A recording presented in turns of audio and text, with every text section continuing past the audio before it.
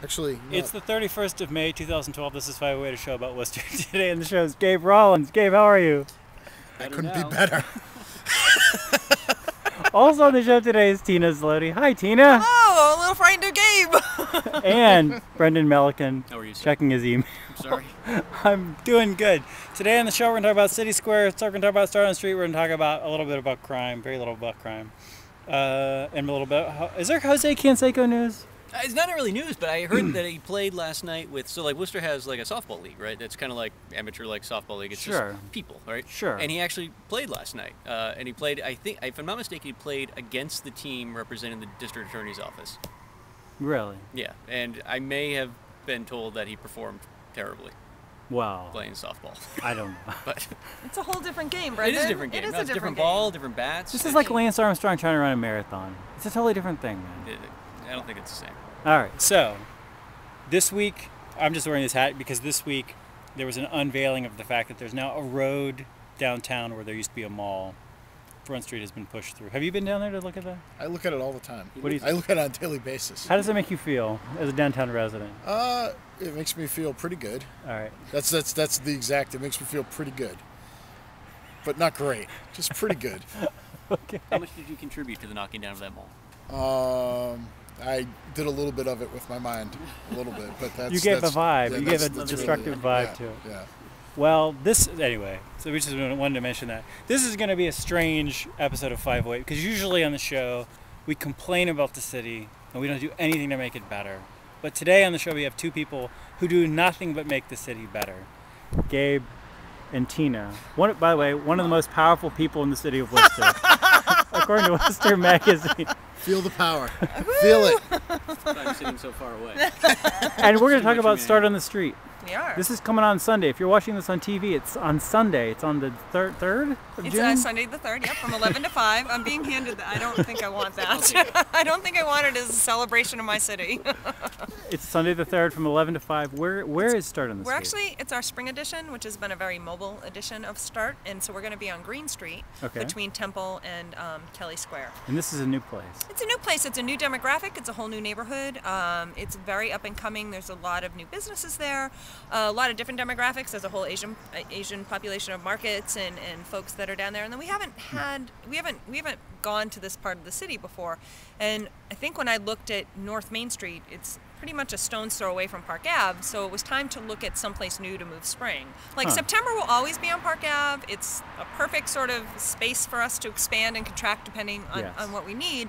But it's always nice that because Start can be mobile is to, to try out new neighborhoods. And they actually, you know, when I thought back about why we ended up there, they invited us. And we've never been invited to a neighborhood before. No one's hmm. ever said, hey, why don't you bring yours to us? And You might want to so think about that, Tina. getting people to invite me? Split places. Yeah. I Sure. can, Mike and I get invited to fancy places all the time. You're just starting to get invited to places. I don't Well, think you're Green, the Green Street's not that fancy. Let me ask you for people who don't have any idea what we're talking about. For people who've never been to this great event called Start on the Street in Worcester. What is this? It is Central Massachusetts' largest arts and music festival. It's a free festival that uh, has about, uh, say, this for this spring event would be about 170 artists, and our fall event you have about 300. Okay. They line the streets. We have free kids activities. We have a food court. We have two stages that Gabe is running uh, for the first time in spring, and it's just really a celebration of art, music, performance, um, your neighborhoods, your city, and the people in it. And so this is a thing where you walk down the street and there's like artists with booths and they have their art and you can look at it, you could buy it, You, can, talk buy to the it. artists. You can talk to the artists. You can talk to crafters who are actually making things on uh, Mm-hmm. on the street, who are producing their work. Uh, so yeah, you can and you can interact. You can interact with the people in your neighborhood or the people in a new neighborhood, Yeah. and these artists, and also your food vendors. Uh, we have vegan food. We have, I mean, we have every type of food imaginable, and then we have every type of performance imaginable, pretty much, without people being naked. I want to ask Gabe about that. Gabe, what what is that? What tell me about the tell me about the stages of the performance angle. Um, well, there. It first started. There was going to be one stage in the street, and that is still there. There's there's a stage at the corner of Winter Street and Green, Okay. and um, and then we were walking the street one day, and there is a stone foundation at the corner of Ash and Green, Huh. um, where there used to be an African market. And they, Okay. um, Aftermarket closed about maybe like a year ago or Yeah. so. Uh, tore the building down, but the foundation still exists. Okay. And one things I've always loved about Start in, is that Start kind of takes advantage of the environment that it's in. You know what I mean? And, and you know whether it's putting things on side streets, taking advantage of the streetscape on Park Ave or whatever. Um, I thought to myself, well, look at the top of this foundation. Why can't we put music 15 feet high on top of this foundation? This is like overlooking the street. Yeah, overlooking the street, and um, that's that's what I'm excited about. I'm excited about that. That's pretty awesome. Yeah. business owner, the, the, the property owner, Alan Fletcher, was Yes. very gracious in uh, carving out. He has an urban garden, much like yours, but it's it's huge and it leads right up to this this foundation Hmm. that we're gonna put performers on. And he has graciously like Mm-hmm. given us a guideline in which to walk and uh, Mm-hmm. has helped us clean up the space. And so yeah, it's gonna be really neat. Cool. And what kind of what kind of bands are there going to be? Well, um, let's see. On that stage, there's going to be a lot of singer-songwriters because it's going to be a very, very small stage.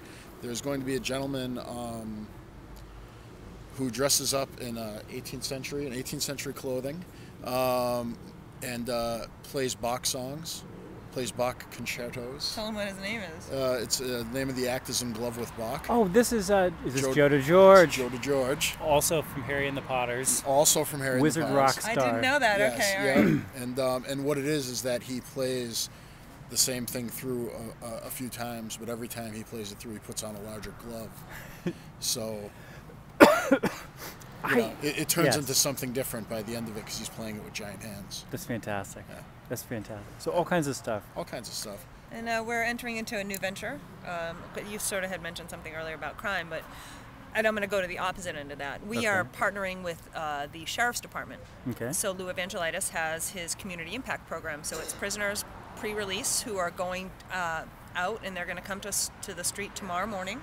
Tomorrow's Friday. They're going to come to the street tomorrow morning, 8 a.m., and they're going to mm-hmm. clean all of our parking lots Okay. and we're going to give them lunch and we're going to tell them about start and it's a way to reintegrate them into the community give them some job skills Okay. um, and then sort of have them like, part of it is taking pride in the area that they're working in and taking pride in their city and sort of hmm. giving them so we're excited to be to partner with them to get something that we need which is some help cleaning some of these kind of urban tough areas Yeah. and then for them to also have an opportunity to come out and do that and then be part of like some community activity so that's a this is new for us we just uh, we just brought them in you know for this event so Yeah.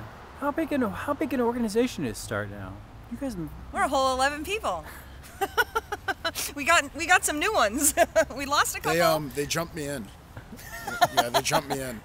That's how I got involved. They, uh, Awesome. Yeah, they jumped me in. It was awful. Awesome. yeah so You have questions about Start, Brendan? Brendan is just sitting here playing with his Playing with my edged axe. weapon. Yeah, I'm good. You don't have any questions. I really don't. I think they're all answered. I don't know. Anyway, I'm really excited that things are moving to a- that you're trying. Uh, things going to happen in a new neighborhood, a new spot. we don't want to be boring and and and we like i said we, there's nothing anchoring us anywhere. The only reason park ave is perfect for us is because it's such a huge space and it gives us green space with the elm park and that sort of thing but I, I think that you know we'll give us a couple of years on green street and then we'll take maybe we'll take suggestions from the public for the next area that they would like to see start in the street crop up. So come down uh, 11 to 5 green street come have some fun bring your kids. We have tons of free kids activities and i just i think in general it's just a really awesome community event and that's why we do it I love Start on the Street. We're actually going to have, uh, we're, we're partnering with one of the artists, one of the exhibitors there. We're going to be handing out Happiness Pony free copies. Any back issue you want, we're probably going to have it there. You got friends who've never read this great newspaper. This is your chance to get some free copies of Happiness Pony. We'll talk about Start on the Street a little bit here more at the end, but I want to talk about, oh, uh, the person who's doing a new radio show on WCUW called Wormtown Ska posted a bunch of comments on Facebook about this. If you post your events on our Facebook page as like posts, I'll take them down. But if you just constantly comment and harass me about your event, whether it's beer pong or Wormtown Ska, we'll totally talk about it on the show. Wormtown Ska, it's a radio show. Check it out. Um, what else happened this week? I saw. What kind of music did they play, Mike? What? What kind of music did they play? Ska. All right. Um, I saw. Make sure you're paying attention. What the? What, is there anything on your radar this week? no. It's, All right. Not really. it's been a kind of grim week. What do you mean in grim? the city. It's getting all stabby in the city. There's a lot of crime going on. There's a lot of crime. You know, I, I N- Nicole Apostola posted the best blog post today about this. I want to, I want to, I just want to run through a couple of her stats that I thought were just interesting. She was looking at, um, according to the Telegram and Gazette, I guess, the number of uniformed Worcester police officers is down 11% since 1998. Also down 11% since 1998, according to the Federal Uniform Crime Reporting Statistics, is violent crime in Worcester and down 24% since 1998 is property crime. And I don't know how much of this is anything. I think I mean she points out and I think this is interesting that like what do you what do you make of crime statistics exactly? How much of them are just completely made up? How much of them are helpful? I don't even know. No, they're really not. Yeah, I mean, because you have to look at the, the, the communities where the crime uh, originates from, and if it how, how it uh, you know spreads out outside of those communities and whatnot. Yeah. Um, but you know, in, in Worcester's an interesting case because it's always perception, right? I mean, if you listen to people that complain about crime in the city, uh, Yeah. you would sound that you would think that we live in a war zone, and and it's Yeah. it, it's an insanely safe place. Like when crime happens, like it has recently, it's kind of troubling, not because there's a lot of it, but because it comes in a wave. And Yeah. for me, it gets it's more of a bummer, not because like people are getting injured or whatnot, because you know what's coming right behind it, and that's going to be like these crazy, you know, uh, calls for martial law. I mean, Yes. have, we have to activate the National Guard because you know people are getting stabbed with our less than 3.5 inch pocket knives Yes. uh, throughout the city. it's um, yeah, I mean, it's we still live in, in a city, and you know, civilization is one of those things that uh, isn't always uh, wine and roses. I tell you, I wish we could get good crime statistics because I feel like without crime statistics, it's just a matter of like anecdotal stuff or personal experience. Like I've lived in Worcester for 10 years. I walk the streets day and night, drunk and sober, and I've never had any No. interaction. So my perception is that Worcester is the safest place in the entire Right. world. But if I had been mugged one time during, those 10 years, I know that I would be singing a very different tune, and I would think Worcester is the most dangerous place in the world. Uh, God forbid if I had been mugged Well, twice in those ten years. So who? So without without the without statistics, I don't even know But the, how we the can talk statistics are kind of easy. I mean, you can look at raw numbers. The problem is trying to figure out the context of each one of those crimes Okay. and whether or not they're related or if they're just one-off events. I mean, it's, I think it's easy for someone to pick up uh, the Telegram Gazette uh, and see, you know, the uh, headline: "Police are investigating three stabbings in the course Yeah. of 24 hours." And if you're the kind of person like who has never uh, felt threatened uh, or maybe feels threatened just by like anyone who isn't you, you may think the end of the end of the world is, is coming. But I mean, we're in a city of 200,000 people. For the, the potential for six individuals uh, to come across one another and in pairs decide that All right. wait We're about to be ice cream person. Is there serious- oh, totally took off on us. oh, the ice cream truck is going down the side The um, but I mean, the, the, the likelihood in a city of 200,000 people for two people to come together and decide one decide that they would like to stab the other really isn't that crazy, right? I mean, it doesn't justify bad behavior, but just uh, based on the law of averages, like there's always going to be a crazy person with a knife yes. or, Or an an axe, axe, as the yeah, case exactly what I was may be. But um, yeah, no, I mean, so it's the context. It's also The key important. is to know what kind of situations, you know, would get you involved with a crazy person with a knife and, Avoid them. and avoid them. Yeah. and it's not hard to do that, No, right? I mean, and, and still be well engaged with the city. Again, like you mentioned, I mean, you walk everywhere. I mean, there, I, I see you walking around the city all the time, right? I mean, if there was anybody sitting on this roof right now who uh, would be likely to, to be covered with bullet wounds uh, or stab wounds or whatnot, it would be you. But do you walk around at 3:30 in the morning with your eh, iPod in and like your f- I cell- have. cell phone But out? you know- and the It's other thing worse. is- he's walking around at three o'clock in the morning with giant construction. he- he- I used to block always have giant sound. construction. Like- I, this is the thing though, is like I so I always read these police press releases, right? Yeah. And so much of the time it's like oh, there was a shooting at the corner of Pleasant and whatever. Yeah. Pleasant and Piedmont or something. And it's like, oh, I was walking by there yesterday at exactly the same time as it happened today. You know, like Right. so it's not even like yeah, you don't have to you don't have to just I mean, there's plenty of crimes that are happening in the city, I guess. At least from my reading of the police press releases that are not like somebody was in a dark alley, you know, with their with a blindfold on or Right, something. I mean, right. you know, it's, it's okay. Anyway, I know personally, I feel incredibly safe in Worcester. I, you know, I, I really do, and I work at Clark, and uh, you know, I live in North, I live in North Worcester. I mean, I never really ever feel uncomfortable walking around Yeah. either of those places. Yeah. So, yeah. but there's also a level of confidence I think that people who are comfortable in the city have when they're walking around. That Yeah. You're just, you're, it's your city. You're Yeah. part of it. You know, you're not looking over your shoulder, and you know, I mean, I've walked with you. You're very confident in, you know, Yeah, yeah. So- I want to. I, no, I want to bring something up and then ask Gabe about this. Like, this is a thing where I know that there's a lot of people concerned who feel concerned about their safety in the city, and I don't understand it, and I want to understand it because I don't want to just be like people are dumb because I don't think it's that people are dumb, but I think about like the common. People Yeah. always talk about how dangerous it is to walk around the common, and it never has. That seemed like the least dangerous place to me. Yeah. But you I, live right there. I think it's um. I think I think there's a fear factor to it that that um, people see maybe people that they're not familiar with, maybe the fact that that There's I- a lot of people who are like high on the common. yeah, there's a lot of people that are high on the common. Um, I, I, I, I think that people um, trying to f- figure out how to put it. Uh, they, they, they think that, that there's a certain element down there that will act that, that, that are dangerous and they're actually harmless. They're completely 100% harmless and they don't want any problems from you. Do you know what I mean? Right. And and they just want to do their thing. Hmm. You know, because giving you a problem is going to put some light on what they're doing down there. Right. And they don't want that. Yeah. So they won't mess with you if you don't mess with them. You can just do your thing, you know? Hmm. And they'll do their thing. Funny. I mean, th- there was a stabbing yesterday on the. I think it was yesterday on the common as well. It was either yesterday or the day before. But Okay. but it was a robbery. I mean, it was a mugging, right? I mean, and I mean, mugging is not something like the common is not a like a sanctioned mugging zone, right? A mugging can happen anywhere. I'm sure there are people in Auburn who have been mugged, right? I mean, it's just I'm sure it's probably happened outside of the the Auburn Mall as opposed mm-hmm. to the rubble mall that we have. But I mean, like the thing that's funny, and I think is what you're hitting on, is that you know you see a bunch of people hanging out on the common during the day, and they might not look completely stable. You might wonder why does this person is this person just sitting here? Why don't they have a job? Why aren't they doing Yeah. something? And the thing that's interesting is that I think people only notice that because of the lack of activity downtown. Like I, I, I- walk through Boston Common all the time, right? I mean, it's and during the day, if you pay attention, there are far more crazy people in terms of percentage, not Yes. raw numbers. Like all littering Boston Common. Than you could than we have in the history of Worcester. Uh, but they're yeah. you don't notice them unless you're really looking for them because of just all the business people and politicians hustle and uh, the, the, the college students that are out and whatnot.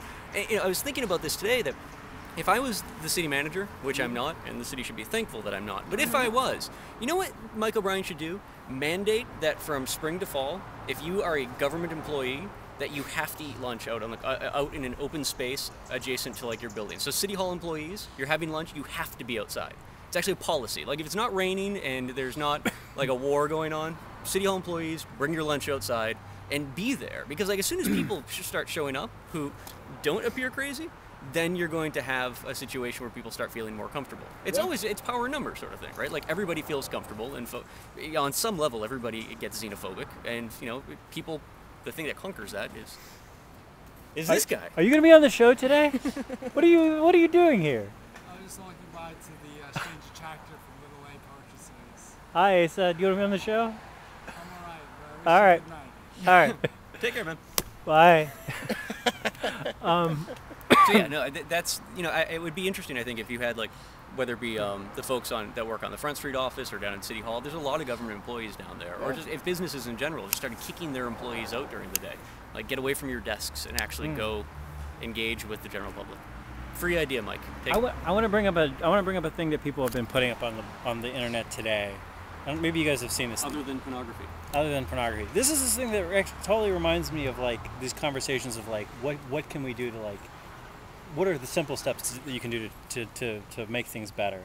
Uh, this is a study that's published in the most recent um, uh, volume of Landscape and Urban Planning, which I guess is an academic journal, which found that in Baltimore, a 10% increase in tree canopy in an area is associated with a roughly 12% decrease in crime in that area.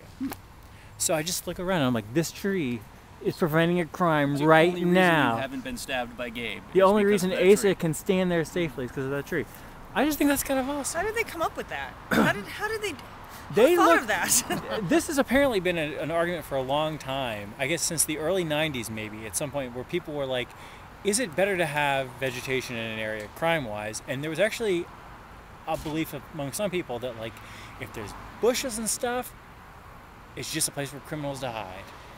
Basically, that was the theory, and and so this so this I guess is the first big study which is like actually or a very big study which is looking at like what is the deal here. They actually found and there were a couple spots where there were a couple regions where they actually found the reverse, that the vegetation was actually seemed to be associated with more crime, and there's some theories about well these are sort of transitional areas between commercial and residential, and maybe it's smaller, shrubbier stuff, or it's vacant lots or whatever. So they're doing like a follow-up study to try to figure out is any of that a real explanation. But they actually like cross-correlated this with you know income, and they sort of basically try to filter out anything that would make you think that like oh well people who have more money have a tree, and so that's why there's less crime. You know all this has been filtered out. Do you, do you think that there's any correlation between you make the streetscape nicer, you, you put the canopies up, you do that, and the fact that maybe more people come outside, more people out walking around? Do you know what I mean? This is Yeah. the theory I think of the people who wrote the study, who, who Yeah. did the study.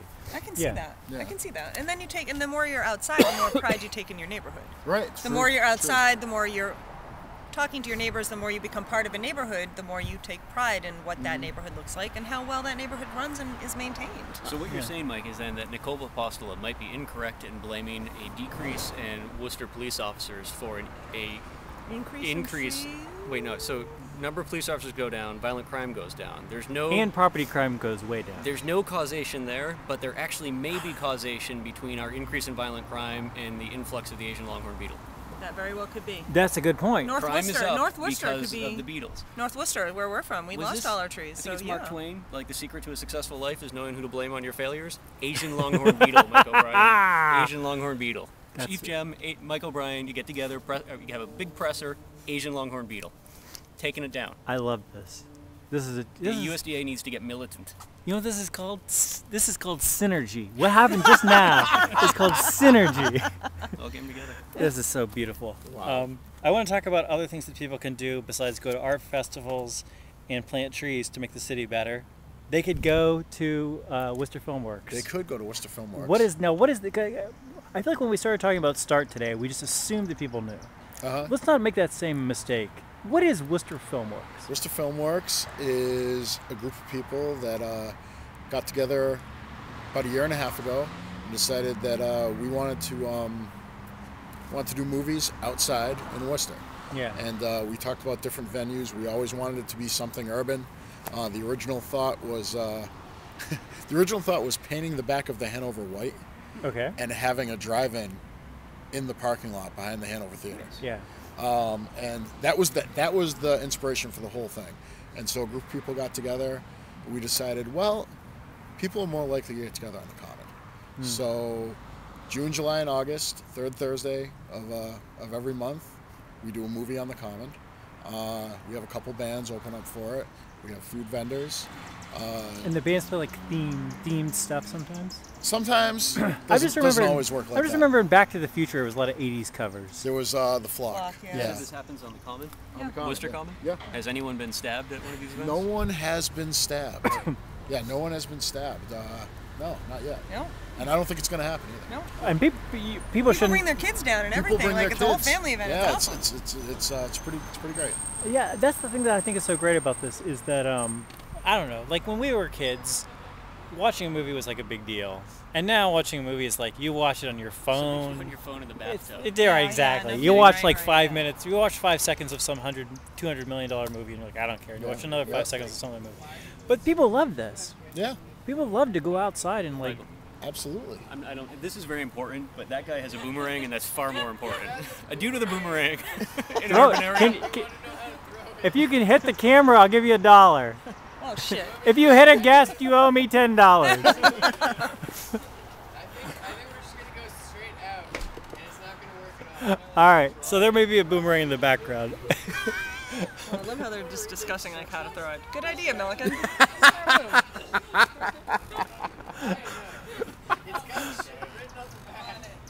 Do it, do it. Oh shit.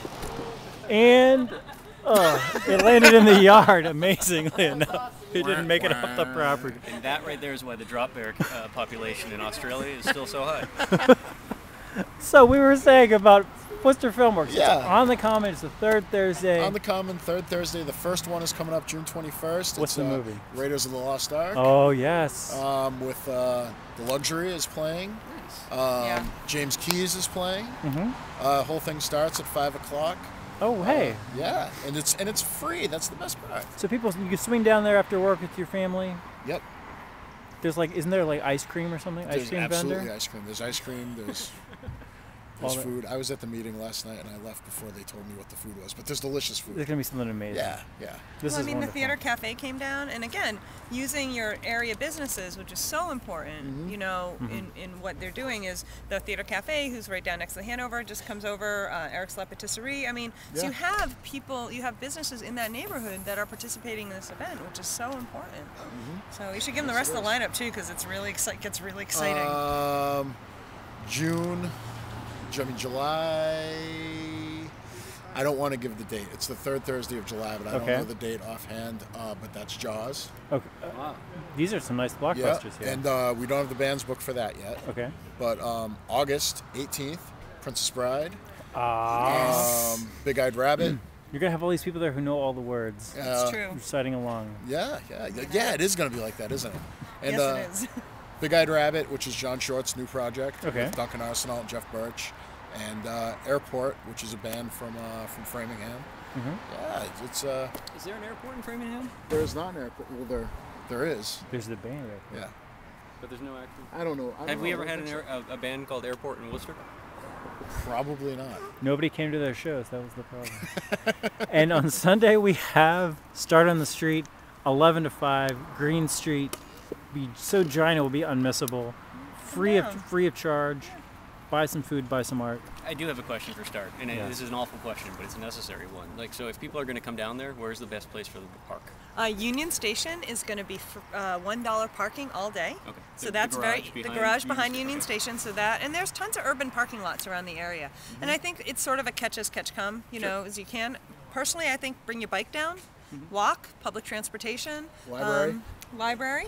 Yeah. Um, the, All sounds well and good, but it is Worcester. I know, I know. And the thing to keep in mind, the thing to keep in mind is we plan this event during a marathon, George a half Russell marathon, Oh, the a, marathon a is- marathon. Oh, I totally forgot this. oh, is that this weekend?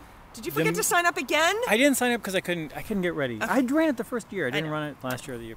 But I'm apparently I have been tricked by my friend who's running the marathon into being a volunteer, like marshal or something. Okay. So if you're running, I don't know if it's you're running You the marathon or the half. I'm getting all. I'm getting a shirt or something. Nice. I'm gonna be standing somewhere like around Salisbury Street. And like pointing, they're throwing the boomerang in. We, we don't have any time. I have to just say this without looking at the boomerang. I'm gonna be like pointing the direction that you're supposed to run. So if you see me out there, don't say hi. Just keep running your race, but say hi afterwards. Anyway, I'm very excited about this. I, I'm not going to be running, but I'm going Nobody to ever be got in touch standing. with me, to me, with me about using my house as a watering station. Scott Schaefer Duffy lied to me. Just do it. Stand out do there it. with a hose. Do it. Spray 'em Make down the city a better by. place. Yeah, you should just set up. What day is it? Uh, Saturday? s- Sunday. Oh, it's Sunday Sunday. as well. Which it's is Sunday what I was morning. saying was when we planned Start on the Street, we didn't realize that There's going to be a marathon running through the event. marathon, half marathon, 5K run, and a 1K that- fun run. That actually would have been awesome if you could have figured out a way to take like a lane of Green Street and have the marathon actually run through the event. Do you know how big Green Street is? It's that big. We're already having a logistics issue. have them run down the bike lane, that 10 foot long bike lane that's down by the dive bar. So there's going to be a lot of activity down there, and, and I think it's very interesting because people keep saying to me, "Oh, do you know the marathon's happening?" You know, and at any real city, more than one event happens in a weekend, and more than one event happens in a neighborhood in a week. So we're really excited, and there's an ordination at the church on Temple Street. So there's just all this stuff going on that's going to be Wow. happening in this neighborhood. So It's going to be a great, a great, a great Sunday. it's going to be a lot of fun, and it's going to rain the way Saturday should be.